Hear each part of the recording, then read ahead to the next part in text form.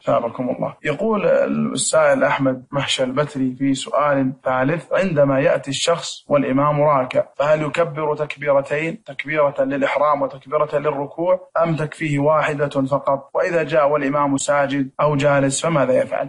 نعم.